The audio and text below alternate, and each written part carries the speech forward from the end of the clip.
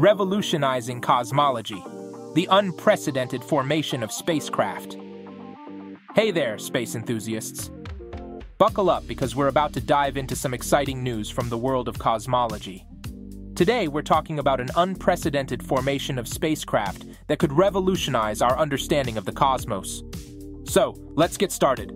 The groundbreaking study a team of researchers from NASA has proposed that a specific formation of four spacecraft orbiting the Sun in the shape of a tetrahedron could search for evidence of physical laws that have yet to be discovered. This study promises to reveal a new physics. The objective. The objective is that, using these tetrahedral configurations and describing orbits around the Sun in an undisturbed manner, free from the gravity of other planets and asteroids, the new spacecraft can make more precise observations of small spatial changes in the gravitational field capable of affecting the gravity gradient tensor, GGT. The GGT plays a fundamental role in Einstein's general relativity, the mystery of dark energy and dark matter.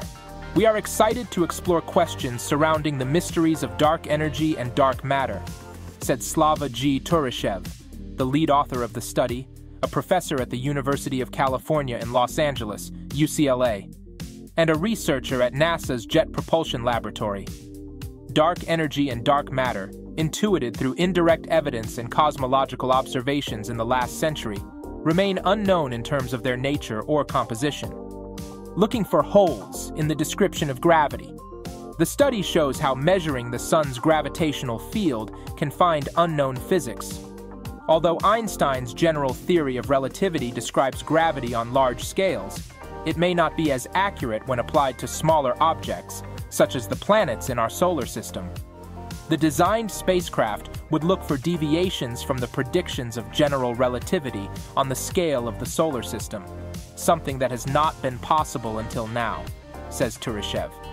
Testing general relativity on the smallest of scales, the technique to be employed in the mission is an adaptation of the high-precision laser interferometry used in NASA's GRACE-FO mission and the German Research Center for Geosciences, GFZ.